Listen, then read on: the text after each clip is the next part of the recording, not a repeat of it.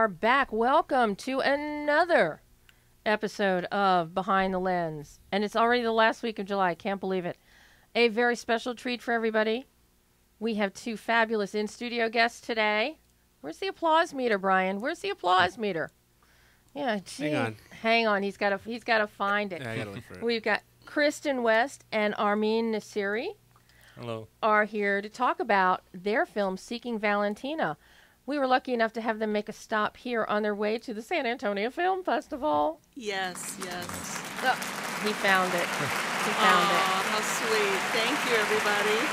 Thank you. Yes, thank you, Brian. That was that was that was lovely. Well, you know, we're gonna and later on in the show, Laurie Kahn is going to be joining us. She's been calling in from Vermont to talk about her film Love Between the Covers, which, of course, Kristin already saw my my teasers about that, and I will I will even let you. You may even ask Laurie to explain Amish romance novels to you. I'm dying to know. dying. There, there, there are so many things in this documentary that all are dying to know. Trust me. But as part as is our tradition here, we now get to to hear Brian's special segment of the show. It's a very special segment. Oh yeah, Yes, this is the It's- Star Wars segment. that's what I look forward to. And for some reason, never have queued up right away. But I, I have it right now. So Star Wars Episode Eight.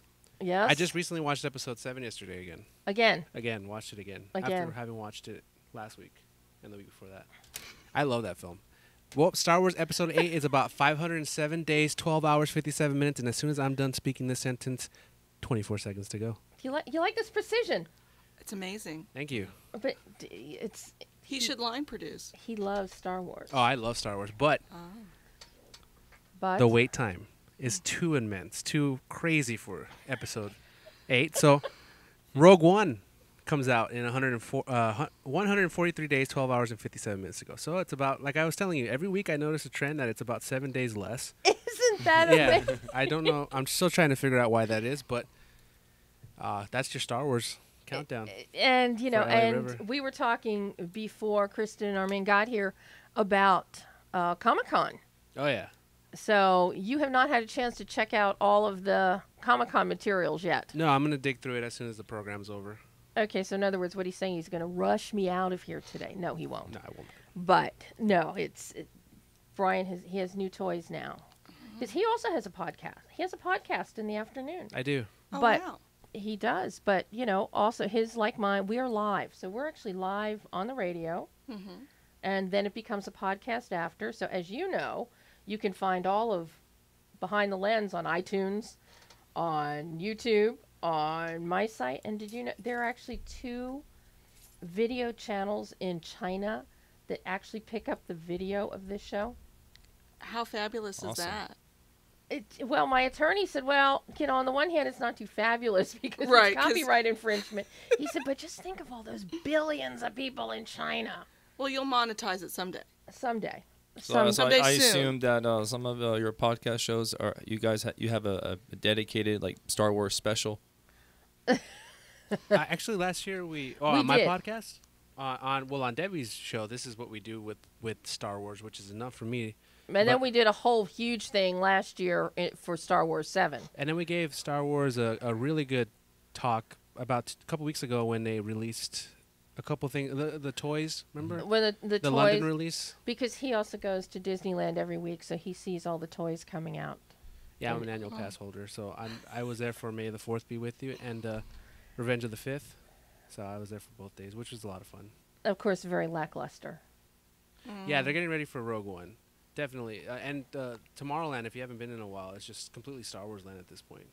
Wow. Yeah, everything's Star Wars, besides a couple rides. But they they changed Space Mountain to Hyperspace Mountain, so that's that's Star Wars related. And then there's a whole section where you can see movie props from Episode Seven, as well as take your photo with Kylo Ren, which I've done multiple times, He has. and Chewbacca. Yeah. Did you camp out on Hollywood Boulevard when the when the movie came out? No, I actually I, I crowds scare me, which is weird because I go to Disneyland all the time. So I just waited a week after watching it. But it was fun to to have such a big culture kind of wrap around it where nobody spoke about the film, nobody ruined the film. You know, how some movies you're wa- some Yeah. people will ruin things for you on, on social media. This was one of those rare films where nobody spoke about it. It happens to us Game of Thrones fans all the time.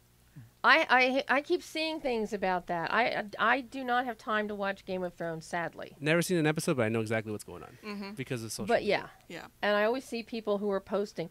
I haven't had a chance to see it yet. Don't post anything. Yeah. You know, sacred silence in, in around fandom is a thing. You It need- is. You need to maintain it. Every time I saw uh, Star Wars on, on Facebook newsfeed, I mean, as soon as they mentioned it, I just quickly just exit out. Well, you know, with Star Wars, that was one of the great things, and I got to hand it to Disney. They kept it so tightly under wraps, and our press screening wasn't even until two days before the film came out. Yeah, usually they do those a week before. Because I actually, one of the jobs I had when I was an undergraduate, not a job, but an internship, is I used to host press screenings in Austin, and it was always exactly a week before. All medias, and then if you're doing long lead and you're doing the press junkets and the interviews, it's be, it's prior to that. But for that, they there was a super secret event at the LA Convention Center that Ooh. had everybody there, including Harrison. Wow. getting Harrison somewhere. That's he's getting better about it though. Carrie was there with her dog Gary. Carrie and Gary. Yes, Gar- Gary Fisher stole the show, but we went into this. It had every bit of merchandising there. You could that was going to come out. Just absolutely costumes, amazing presentation, and press conference. But we went into this without seeing anything. Wow. And it wasn't until two days before the film opened. Quiet as a mouse. Yes.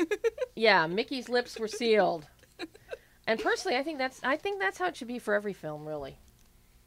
Let the uh, go back to the old forms of distribution where yeah, press can go, they they screen it, but everything breaks opening day or opening week.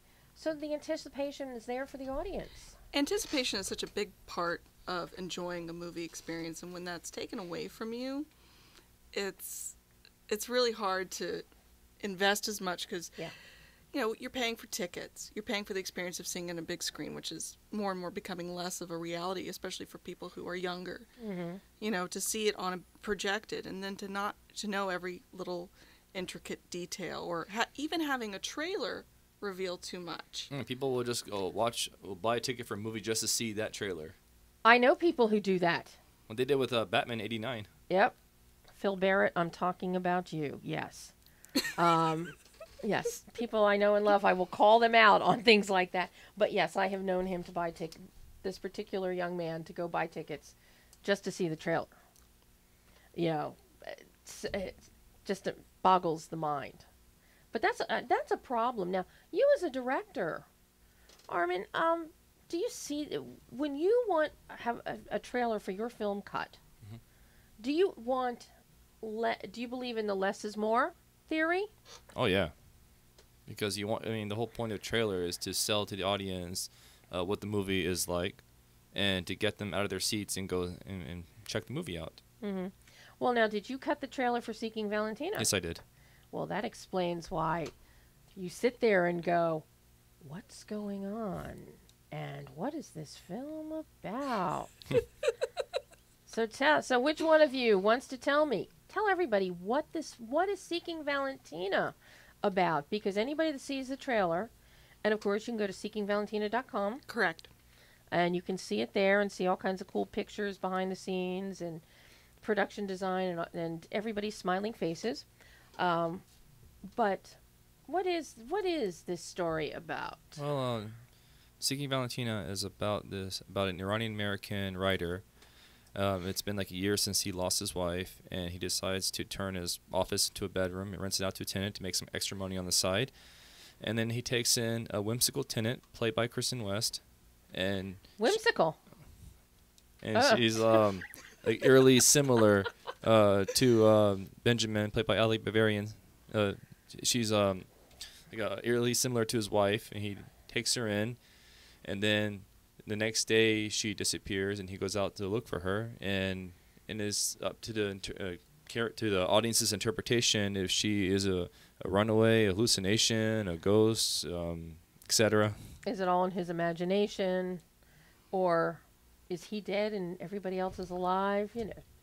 it's an open narrative. It's very very open to audience interpretation, mm-hmm. and there are d- different kind of clues that would lead you in, in one direction, and then clues that would lead you into another direction.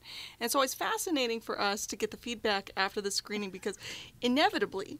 When we go to a film festival like the upcoming San Antonio Film mm-hmm. Festival, the first question we always get asked at the Q and A is, "Who's behind the door? What or what is Valentina?" So, and it's interesting because it's always a what, not a who. That's that is a very interesting question to to get. Mm-hmm. So I always say Valentina is a being, and then it's up to you to determine what kind of being she is. Is she a flesh and blood oh. being? Is she an imaginary being? But she has some sort of existence on some plane of reality or surreality mm-hmm. that you get to kind of determine what how how she exists for you. So, where did this story come from? This is not your run of the mill kind of story. You know, where where did this come from when when you were did it just pop into your head in, in the shower one day? Yeah, I mean the idea came it came like lightning. um, well, my uh, my father is a landlord, and I mean that's what uh, I was exposed to at a young age. Was um, I would go to rental to houses with him whenever he went to go pick up uh, the check from the tenant, or every, or he was also a handyman. So every time there was a maintenance problem, he would, he would go and uh, and fix it. So I mean that's what I mean. I was born into you know the family of you know rental homes, and um, and he still does it today. He still has rental homes in, in North Carolina and California, and I've always just you know wondering you know what would it, what would I was always wondering um, what would happen if the person who was the source source of your income just disappeared without a trace, and what if this person happens to be a woman that you uh, fall in love with, and and um, and also how um, everything with you comes into a test. So now when you were writing this, was it your intent to direct or was it just writing to write it? It was my intent to um, write and direct it. Mm-hmm. I mean the um, because of my uh, life experience, you know, with with my father, um, the idea just kind of came to me about a, a widower living in a remote uh, town with his son, and he takes in a tenant, then the tenant disappears, and he goes out to look for the tenant, and then I wrote it into a treatment, and then the treatment turned into a screenplay, Mm-hmm. and I totally um, totally surprised myself when um, I'm just uh, the way the story turned out. Well, now we're because so many direct, so many writer directors when they're writing and they know they're going to direct, they're getting visuals of the vis- they're seeing the visuals in their head. Some actually go so far as to storyboard it while they're writing, knowing they are going to get the money and they're going to make this film.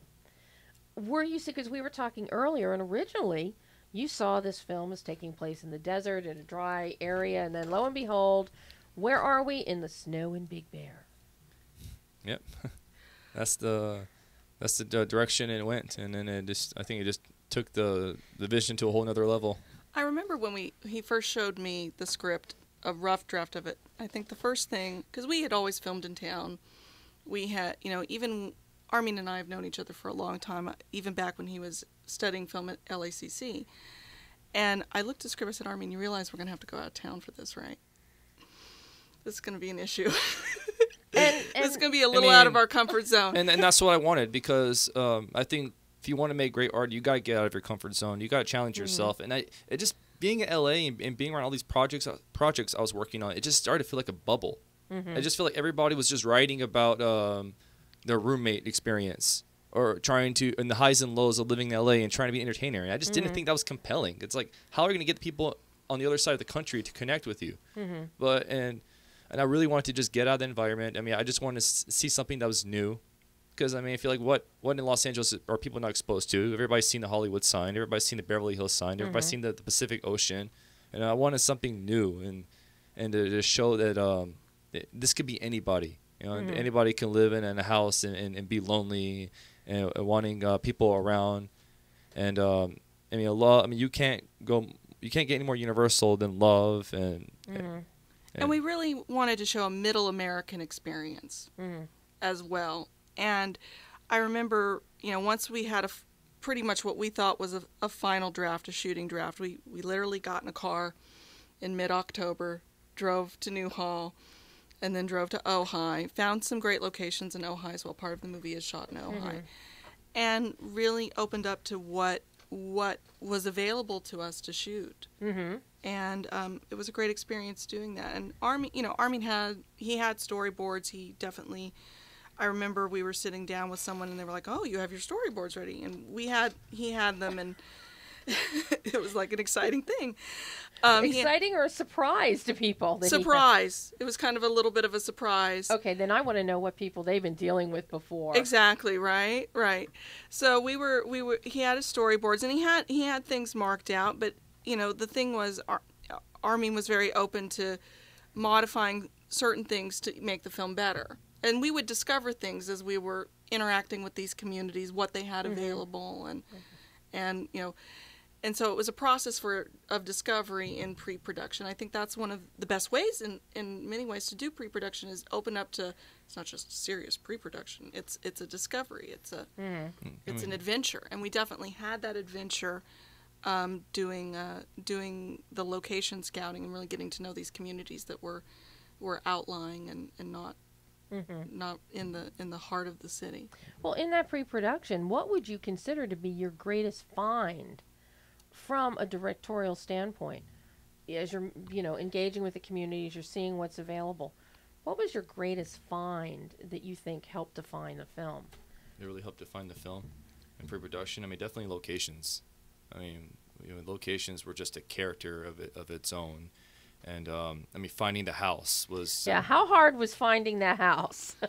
especially when 95% of the story takes place in the house. I mean, that was um, really important. Was to get the perfect house, and That- then um, and then when um, when we were looking at uh, uh, crystal, uh, crystal shops, and um, and we we encountered um, Emily Hefner and Diane Sylvester who were working uh, at the Soul Center at the time, and they were interested in the project. And then it so happened that there were two female characters written in the story, one as the uh, employee and the other as the employer. And they want and they were interested in the story, and they were also real actresses themselves. And I mean that made my job really easy. I didn't have to worry about um, transporting actor actresses from L.A. to Ojai. I just arrived at Ojai and they were there, just put on makeup, and then hit, they hit their spot, and Dress set, And- fully dressed Fully set, dressed just set. walk in. doesn't does doesn't that you love it when it makes your life easy like that? Oh yes, I mean I wa- I was so prepared to because I, I had an idea. Of, I mean I knew I knew s- a couple of uh, women that I met that I I had I, I had them in mind for um, the roles of uh, of uh, Pamela and uh, and Amy because I mean I had no idea that we were gonna search for a location and then there just so happens that there was actresses working there and they're interested and uh, I mean I was just um, prepared like whoever I picked you know, I was gonna let them know, hey, do you know anything about rocks? Do you know anything about um, minerals? Do you know anything about the antiques? You know, because we want, we want, I want you to look like you know what you're doing and, and what you're talking Mhm. about. But I didn't have to worry about that with Emily Diane. I mean, they already knew everything in that store. Any any item in that store, uh, you point out, they already had knowledge behind it. That's fabulous. So it made my it just made my job easy. It was just like wow, a real actress and a real um, person working there. It just, I mean, it, was like it was just meant to happen. Well, and especially since you moved out of LA proper, which, you know, throw a stone and you're going to hit an actor or an actress. right. Yeah. But to, to go out to Ojai hmm and actually find trained actresses hmm who then have the uh, additional skill set for the characters. that that's, you know, that's cosmic intervention. It is, and you know, it was we we were we were trying to find the house in Ojai, and we couldn't find the house in Ojai. We couldn't find it in Newhall. But one of probably the most talked about um, scenes in the film is um, Benjamin uh, visiting his uh, psychiatrist, Dr. Lodi, and actually at Soul Center there was a geodesic dome Mm-hmm. in the back, which is probably one of the most popular stills of the film. Is is um, Benjamin on the couch with the geodesic dome in the back, and that was just happened to be on the same property as the as the as the rock shop. We got to use it all in one day. So, I definitely there was definitely some sort of uh, serendipity or cosmic intervention there because it, it all sort of came together in spite of of some of the challenges that we did face in, in getting the film made and and done. And and we're just so happy that we got to also film in these communities and, and people were Mm. open and receptive to us. And we were fully permitted and had insurance and all that. And we were trying to work with the communities as much as Mhm. possible. And see, and that's something I don't hear enough producers or filmmakers talk about is working with the communities. hmm I know this is a big thing that Ali Afshar and the guys at ESX are doing now. Ali grew up in Petaluma. Most of the people uh, in ESX have an affinity or a tie with Petaluma, and they do all their filming up there, and the community really gets behind hmm the filming. But I don't. It's, it's so wonderful to hear a producer talk about working with the communities because you never know what might open up to you. Right You know, you may have permit issues normally, but then somebody will s- suddenly say if they like you, that's okay. You can use my garage. You can. Exactly. Um, we we you know I feel that we have to be as producers and people in the film business we have to be good neighbors, and we don't you know you know people's streets are getting blocked off. We we didn't have to actually block off a street in Big Bear, but we did have people running down the street. So of course we want to ensure the safety of the actor, the safety of the crew. We have to kind of notify people that we're running down the street that day. So, um, you know, it is important so that filmmaking is a positive experience for people, not just for the crew and the cast and the investors and the and the people directly involved, but the community also has to see it as a positive experience. So they fight for things like incentives when it comes up, because we lose, you know, we lose filmmaking jobs to other states because of incentives. If communities didn't see it as a a deterrent or a hassle, they might get more invested so that we can spend more dollars locally Mm-hmm. And that's something I always I always think about is we want to be good neighbors and good stewards of the communities that we're in. And, and Big Bear in particular, because we really got to know the community, we had to scout it a few different times for different reasons, um, but we actually um, um, because we had created good relationships in the community, we, we actually filmed part of it at Big Bear Bowl at the bowling alley. and it was fun. And it was fun. We had a very positive experience there. And you know we tried you know we we we worked with the owner of big bear bowl and you know made sure worked within their parameters and everything was lovely. And inland empire film commission is uh, great. They're restructuring right now. Mm-hmm. but um, they're filming down in, in the inland empire area is, is very um, um, very very filmmaker friendly Mm-hmm. which is exciting Well, I want to ask each of you what what led you into producing, Kristin, and Armin, what led you into filmmaking? Um, I mean, act, I mean, I started off as an actor, you know, since the age of 14, and um, I mean, I never really thought about uh, writing and directing. I mean, at the time, I was just very passionate with acting. Um, there was some, there was just something with with acting that was, uh, um, it was like just kind of like basically taking everything that was negative and, and, and bringing it to a positive and uh, expressing yourself, and then you're also telling you're telling a story. Instead of writing your you, your performance is telling the story. And um, and I've always had a desire for writing and directing. Like once I hit my senior year in um, high school, because I started to uh, I started watching a bunch of movies, and I was inspired by Scorsese and his like collaboration with Robert De, Robert De Niro, and um, and so I've always had that desire, but I still my my first love was still acting, and then um, and then when I moved to uh, you know California, and when I you know got accepted to you know, the American Academy of Dramatic Arts. I mean, that was my main focus. And then um, you know, after the program ended, um, I had to make a decision. It's like, do I want to just keep um, auditioning for strangers and hopefully I get a part, or can I go back to school and educate myself on behind the cameras and try to have more career control, more of a creative control? uh, because there's no way that I'm just gonna put all my eggs in one basket just trying to be an actor, especially Mhm. when um, when people who look like me in America are a very small demographic. Mm-hmm. So the the, the opportunities were limited, and I wanted to go behind uh, the scenes and um, and also just create opportunities for myself and for other people. And and it just it it just happened. I mean, I took some courses. I mean, we had to uh, you know shoot on our own, direct it, and then editing, and the, it just all came together Mm-hmm. and um, And um, go ahead. And I feel well, you know, shoot, if, if Woody Allen and Warren Beatty and Clint Eastwood and Jon Favreau can do it, so can I. Absolutely. And what about for you, Kristin? What got you into producing and I had been acting since I was seven years old. I actually started off in my community theater, and I had done competitive theater in high school. So I was definitely theater nerd girl for a very long time.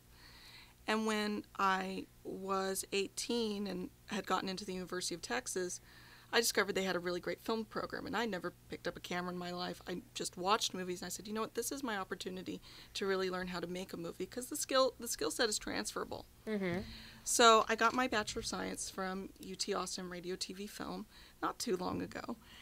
And I went to the semester in LA program where it's actually your study abroad. You get to go from Texas to Los Angeles. Oh, that that well, in so, that could be considered a, very far abroad. Yes. Right. So I actually got the opportunity to study with um, Phil Nemi, who at one time was the VP of Disney, and he Mhm. he um, taught he taught a producing class and and introduced us to this idea of the talent producing partner that you know people who are actors can produce films. So I I actually learned how to line produce in his class. So. Uh, learned how to budget, learned how to schedule, learned all about permitting, learned logistics, payroll, all of those kinds of things Insurance. insurance insurance get it Yes. so I, I my education really enabled that and it gave me a way to um, i have similar feelings to armin in terms of I, I really needed to feel like there were certain aspects of my creative life that I could be more proactive and be in charge of. So it's a good balance for me because, you know, when you're an actor, you're supposed to be very receptive, very open, very, you know, go with the flow. And that's kind of one part. I, I like to see that as kind of one part of the brain, kind of the right brain. And producing gives me the chance to, you know, take charge, to plan things, to have a vision, to execute it, help others execute their vision. And it's kind of a very left brain activity. So it kind of gives me in my life a certain balance that I really crave. And um, I like to think I'm I'm getting more successful at it as we go along. Um, and it was it, it's exciting for me to get to to have that sort of varied creative life and different because there are creative aspects to producing too. It's not just all numbers and and phone calls and Yep. and all of that. There's definitely a creative aspect to it that's important and valuable. Well, you know, now the really big question hmm is producer, you act in the film. Mm-hmm. Armin? Yeah. Did she take off the producer hat or try and pull rank on you when you told her to do something as a director? I mean, I mean, I definitely uh, give more power to uh, Kristin for uh, executing both, uh, you know, heavy job on both on both aisles. I'll, I'll give a shout out to Mo Whelan. Um, Mo Whelan was our first AD and our supervising producer. And about a week before um, the shoot, I met with her and I said, I'm going to hand you the baby. Here's the master production binder.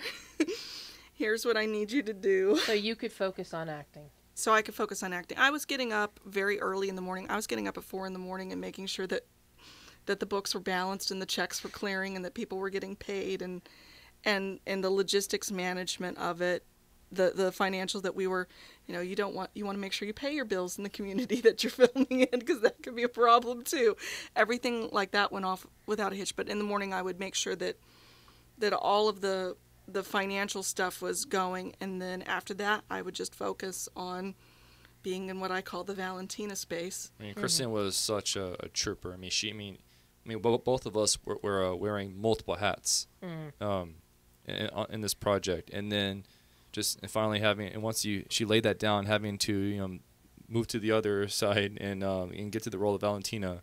I mean, she pulled it off great uh, as a producer and actress, and I couldn't ask for a better Valentina. i had a really good director i worked with on that film Aw. Well, on that note, we're going to switch gears here. I know you're waiting for this. You're, and we're going to welcome, we're going to welcome Laurie Kahn in into the Fun Fest today. Are you there, Laurie? I am indeed. Oh, I am so happy to talk to you. How are you? I'm fine, thanks. How are you? Fine. And here in the studio with me today, we have some other filmmakers, Kristin West and Armin Nasseri, they've got a short film that's uh, on the fest circuit, and they're getting ready to head to San Antonio Film Festival with. Terrific. And yes, Kristin is already. She was reading my teasers about love between the covers, and I, I, I am just so thrilled. So I Well, told to I, here. I told you at LAFF it was a must see film. Well, thank you very much. You know, did did you think you would get to this point with love between the covers, and you would have, and it would now be distributed, and with a company like the Orchard, who I just love. Yeah, I don't think I expected to be with the Orchard, but you know, I did definitely expect to be out there, but I didn't expect you know, the hundreds of screenings that this film has had all over the country and actually around the world. Yeah, I mean it's. I've been following, you know, the fest circuit for the film, Yeah. and oh my God, after the U.S. premiere at LAFF, I mean, you have just been everywhere. Well, just about, yeah. Who knew that romance novels were this big? Well, it's really a story about women's lives, too. I mean, I think that, you know, it's a story about the ways that women build communities, and I think people who have nothing to do with romance novels really respond strongly to the film. Well, yeah, and that's a that's a common thread you have in all of your films. Yep. You know, your Tupperware film. If anybody has not seen Laurie's Tupperware film, you must see her her Ladies of Tupperware film. It's fun. It- It's fun. it- it's bittersweet, and it's really telling, too. So now, what for you went into for people that may be on the fence about romance novels, and uh, you know, as I found out, the documentary is very educational. I never knew that there were so many different kinds of romance novels, but I also didn't really know the whole history of love and romance and uh, expressions of same uh, through through the ages, through the centuries. Mm. I mean, nothing could be more basic or more human, actually. I mean, you know, people have been writing love poetry and telling love stories and writing love songs, and since the novel was created, writing romantic novels, you know, since the early days of the novel. And in fact, women were the primary writers of novels back when novels began. Yeah. So it does, it goes way back. You know, now your research project uh, process for Love Between the Covers, uh, you were working on this for over two years, were you not? More like four. yes. What did you know that you would always be directing this project when you embarked on it? Yeah, I knew that because, you know, it's it's a documentary, and that's what I've come up through the ranks. You know, knowing how to produce and direct and write. I didn't shoot it. I hired someone who's better at shooting than I am, and I hired someone who's who's edited all my films to edit the film. So I know my limits, but um, directing, I'm, I I love directing. Well, you know, and you have all of these fabulous interviews, not only with fans from these conventions, but all of these romance writers from every different genre you can possibly think of. And I know Kristin's very enamored with the whole idea of an of Amish romance novels. Ah. Yeah. I mean, it's the span, as you said, is huge, all the way from Amish, very chaste romance novels, you know, sort of looking back at a simpler agrarian life, um, to, you know, BDSM and everything in between, you know, paranormal with vampires and African American, historical, contemporary, lesbian, male, male. I mean, you name it, there's a romance for anybody's taste. And Fabio can be on the covers of all of them. Well, not anymore. No, I mean, that, that's. Fabio is not the sort of taste of today. He was very much the taste of the 80s. Mm-hmm. Um, but I think if you look at romance novels, there there's also, you know, not as wide a range as covers in general, but they clearly signal what they are. I mean, there's the bare-chested torso with lots of red and black, which tends to be paranormal, you know, romances, and there's the chaste scene of a small town, which is sort of contemporary small town uh, romances, and then there's you know historicals and very erotic. Um, you know, sort of suggestive images. So there's a whole range. You know, and you did you devote a whole section of the film to the idea of to the formulation and design of covers. Yeah. Wow. Well, it was also part of the conceit of the film being love between the covers, and you know, as, as you know from seeing the film, we also took the construction of covers as a kind of basic device to create our animation, and sort of played with that. Very much so. Very much so. How difficult was it for you to narrow down the authors that you chose to interview? And which ones? Incredibly difficult. really difficult. I mean, I came into the romance community knowing very little and just plunged into the deep end and met lots of romance authors and readers and they're really characters and very diverse and interesting. And you know, I shot interviews with perhaps well, I pre-interviewed hundreds of writers. And then I shot interviews, you know, in a beautifully lit interviews with probably 50 authors and then had to figure out from those sort of which people I'd actually follow in their lives and their jobs, you know, sort of get to know them better. And it was tough.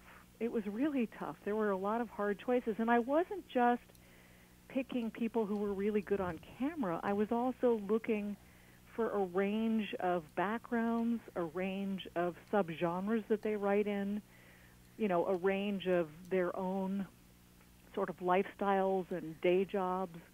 So I wanted to, to capture that. Um, so I couldn't have, you know, three historical romance writers, for example. Mm-hmm. Yeah, what what was the most challenging uh, once you got beyond the research and narrowing down your structure?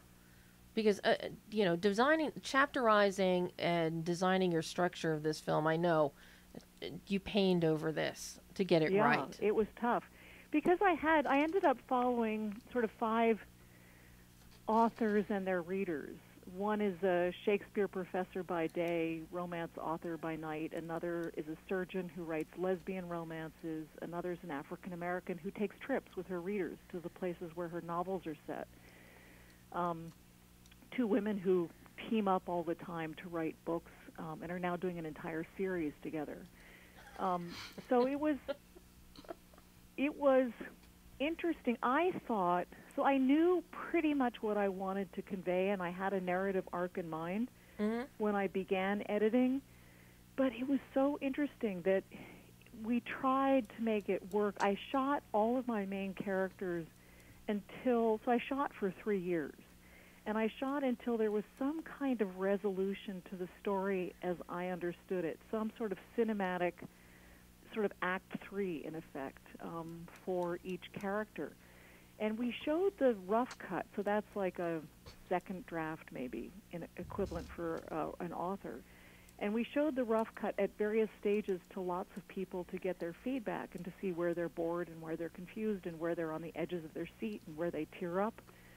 And they really liked the characters and they thought the subject was fascinating, even though they might have not expected that at all. They were like, whoa, who knew?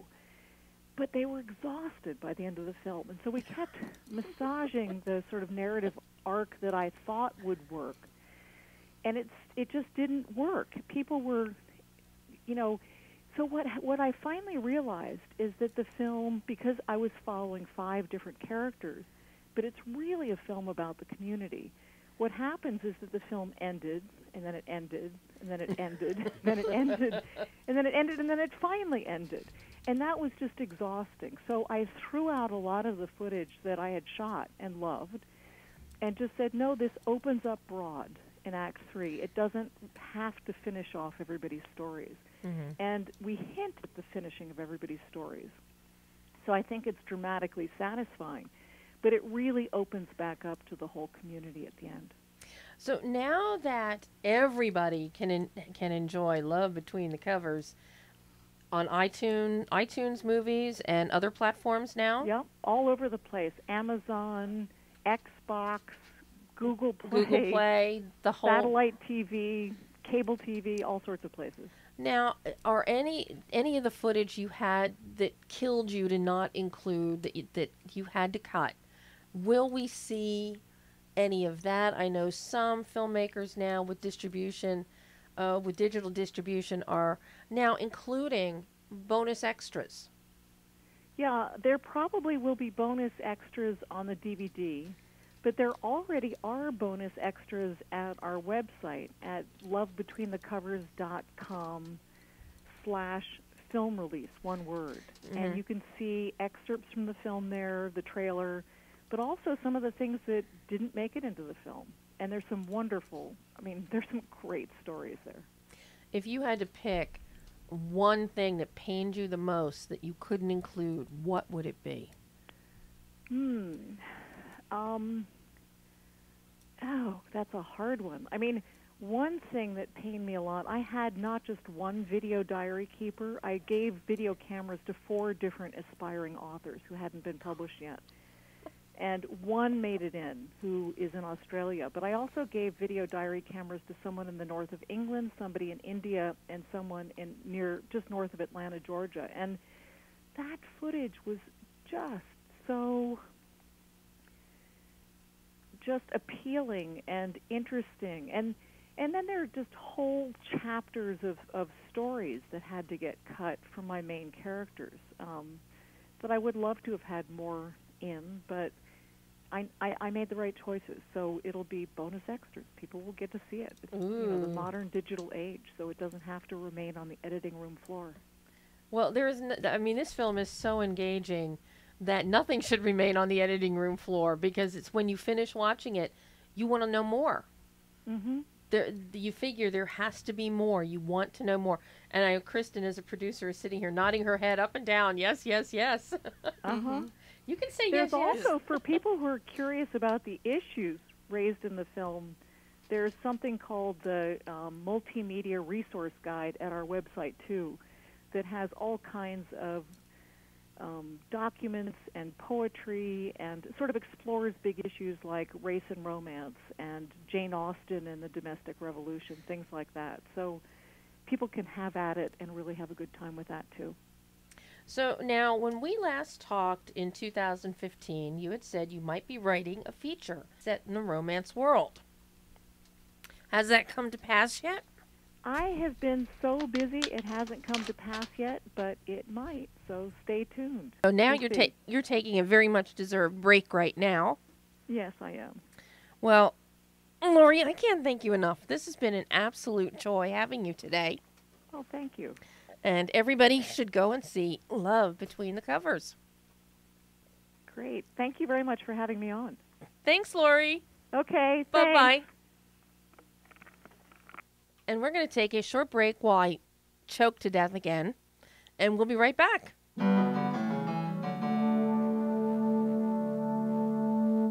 And welcome back. And that was huge thanks to Laurie Kahn Love Between the Covers, writer director, now available on all your digital platforms. And trust me, it is an eye opener and it's fun. So see it, go to lovebetweenthecovers.com and you can even find out there all the platforms, or you can buy for download right there on the website. So it's well worth, well worth the money. And I don't say that about things too often. But still here in the studio with me, Kristin West. And her partner in crime, Armin Nasseri, seeking Valentina on their way to San Antonio Film Festival. Um, something really, the look on Kristin's face, you'll get to see it on video later this week when the video is up of today's show. As Laurie was talking about the various types of romance novels, Kristin's face as some of them were being described.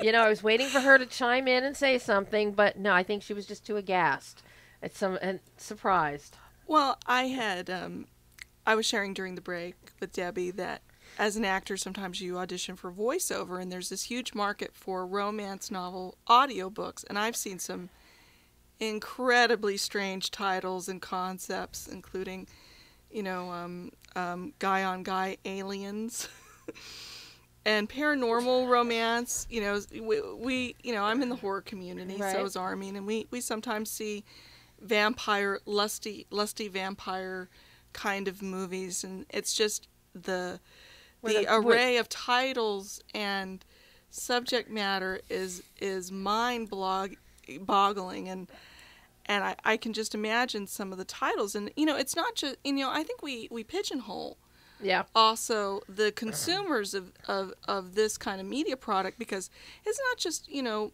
women of a certain age it's It's teenage everybody. girls the first time i ever really you know was exposed to one of these um, was um, as a teenage girl one of my friends had the chalice and the blade Oh my god. and she's like kristin you have to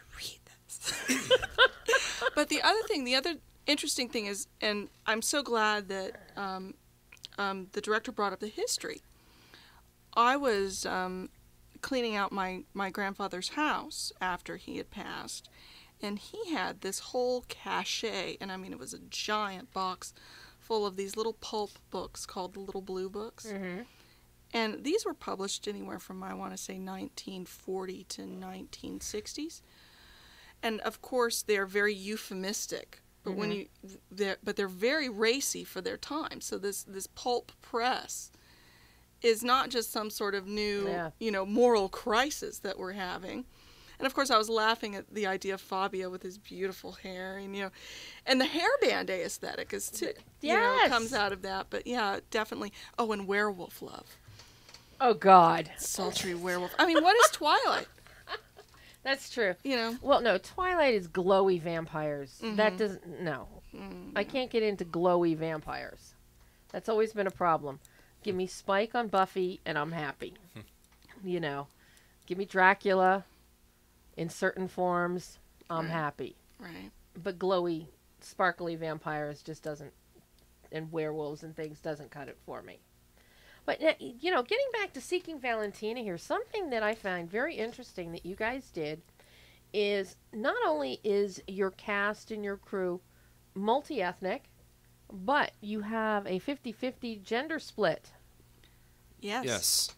Um, no, I'm very proud to uh, to do that justice because I mean, how often do you see movies where it is gender balanced or Right. have diversity? In, in 2016. Yeah, and it's become such a hot topic with the Academy issue this year, with the subsequent things that are going on with the elections this year. So I find this particularly fascinating that you guys set out to do this. Did you not? This was you wanted it this way. Oh yeah. We certainly did, and it's it's important that we we continue to pursue that, especially as independent filmmakers. We need to we need to foster these environments, and you know, Armin, the director, trusted me to help him execute his vision. I I brought on Mo Whelan to help me get the job done, and she was amazing. Um, and we had um, we just we just wanted to create that environment and I think what what the genius of what Armin is pursuing is creating the new norm. And as every independent filmmaker needs to do is to help create this new norm of gender balance, ethnic balance, balanced portrayals. You can ha- you know, you can explore the light and dark sides of life. Everybody is a multifaceted individual. But we need to we need to portray people in in more in in more varied ways. Yeah, I um, well, when, when, people, when people ask me, you know, why did you make um Seeking Valentina? I mean, it's there's a lot of reasons. I mean, I, I explained one reason about the whole uh, question about uh, a tenant disappearing based on my life experience, but this project was very personal to me, and I was very very adamant about casting. I mean, I felt that it was really.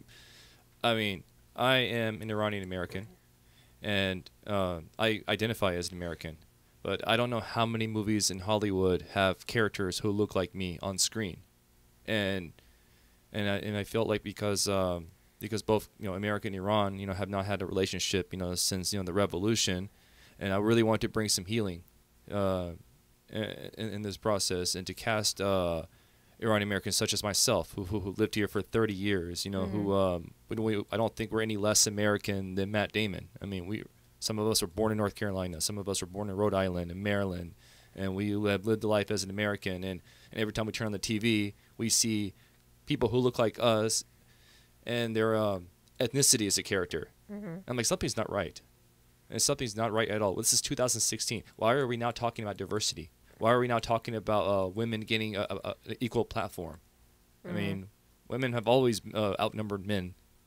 I mean, I mean, the women outnumber men, and wh- why are they like? Why are they being kind of elbowed out? And Mhm. I really wanted to bring that to the forefront. So once I, I mean, I was very adamant about the the Persian family, you know, because I feel like this was this is never portrayed. I wanted to show a, a positive light, but also show that this is um, it doesn't matter who you are. You know, if you uh, lose somebody, you lose somebody. You know, if you live in a house, Mhm. you live in a house. I mean, there's just an, as everyday people. Yeah, I mean the, these common threads are something. It's it's the co- universal experience, hmm you know, and it should be colorblind, so that you know, you have a Persian family, you bring in Persian culture, but at the same time, it's the same as if you'd have a Jewish American family or something. Right, and I want to also give big props to Army because I'm not the typical romantically.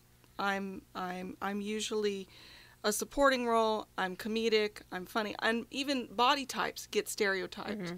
and we have certain reservations about certain body types. But he really took, you know, and I am a plus size woman, and he took a risk in putting me in that role that would normally be um, reserved for someone who's more ingenue type Mm-hmm. and so I think that's an important aspect of the film too, and that's uh, that's an important thing that we're seeing as well is that that we're allowing people to to um, branch out into seeing being seen differently, Mm-hmm. and I think I think it, it happens on several layers in this film, Yeah. which is exciting to me, especially as a Very much producer. It was it was never my it was never my intention to just uh, you know cat you know make it to make the story like one sided of one demographic is uh this is how this is what you sh- you should look at one demographic and this is how you should, should look at the other the other side. I wanted to make it equal. I mean I mean it was very personal for me to have uh, uh Iranian Americans you know portrayed as you know everyday people and normalize them, but also um I mean, this is this isn't just about you know Persians. I mean, Hollywood you know stereotypes everybody. I mean, you have you always have this good-looking, all-American Caucasian guy, the guys who look like Peter Krause or Matt Damon. I mean, no no disrespect uh, to them, but they all they, you know they do their job well. But they're always portrayed as the all-American Right. person, the, the, the heroic figure, and then you always have the plus-size women who are always the sidekick or the or the, the funny person and never as the um, the love interest. And then you have um, Indians and uh, Asians always portrayed as nerds or Mhm. a 7-Eleven clerk, and and that's just I mean it, it, I mean it, it's and um, And we know- actually played twice in India and are going to play a third time in India. And I credit that, besides the, the compelling themes of the film, Right. we really we had Srinivasa Kapavarapu, you've seen him in Outsourced and, Mm-hmm. And uh, other television shows. We actually put him in a very interesting supporting role as Dr. Lodi Mhm. and and and and took him out of the you know the the you know the telemarketing center took him out of the gas station yeah and put him in something more more fleshed out and more nuanced than than normally someone in his in his type whatever that is Mm-hmm. would normally get to portray Mm-hmm. and i credit i credit our success abroad for taking those risks Mm-hmm. as, as well as uh, Diane Sylvester. Diane Sylvester is a Jewish woman, and and we and we showed uh, we didn't we, we stepped away from any stereotypes that portray Jewish women, and we, sh- we put her in a in a room where she is a, this mystical figure, Mhm. and uh, and, and colorful, and I don't I don't know how you don't really see that that often. You know, what I mean, I really just want to show what the present looks like. Mm. Well, now before we run out of time, since I'm looking at the clock and Brian isn't, um, San Antonio Film Fest. Where can people see Seeking Valentina in San Antonio? July 27th at 5 p.m. We're going to be at the Tobin Center. We're in a block of shorts at the Tobin Center. They're all kind of magical and realistic. Okay. Um, you can go to www.safilm.com and get your tickets there. Uh, we also invite you to go to our Facebook page, and we actually have a Facebook event where you can learn more. And right after the screening at the Hotel Indigo, we're going to have a meet and greet with the filmmakers. And um, come out, take a picture, shake our hands. We'd love to meet you. And we love our San Antonio and outlying areas fans. I'm from there. Well, the the entire hometown crowd Exactly. must come see Kristin. Welcome her home. Right. Go Um, Texas. and uh, find us on Twitter, uh, like us on Facebook, Mhm. and if and you can follow our updates because after San Antonio, uh, we're going to be p- uh, playing in uh, the Fly Film Festival in Enid, Oklahoma. That will be Saturday, August 6th at 7 p.m. in Enid. Ooh, all right. And then around September, I mean, more uh, updates to uh, coming soon, but we will be playing at uh, the Irani Noir Film Festival, which will be taking place this year in Seattle, Washington. How nice. That's great. And of course, when people watch Behind the Lens, the video later this week, all of this social media information of the Twitter, the Twitter, the Facebook, the website, it will all be on a lovely Chiron and on the end credits, so you you guys can see it as well. Thank you so much. Thank you so much. So I hope you guys will come back, We'd love to. We'd to. love and to. you can of course always call in when you get new festival dates, so we can keep the audience uh, advised and apprised. Absolutely. We, we would love to update uh, people with more information and more um, you know, festival And uh, I- and I- events. All right, and I want to see a TV series. So there you have it. I do too. I do too. I mean, I've gotten a lot of inspiration lately. All right, well there, Brian gave us Brian gave us the nasty music. so that's it. That's it for Behind the Lens this week. We'll be back next week, 11 a.m. Pacific, 2 p.m. Eastern, right here on Adrenaline Radio.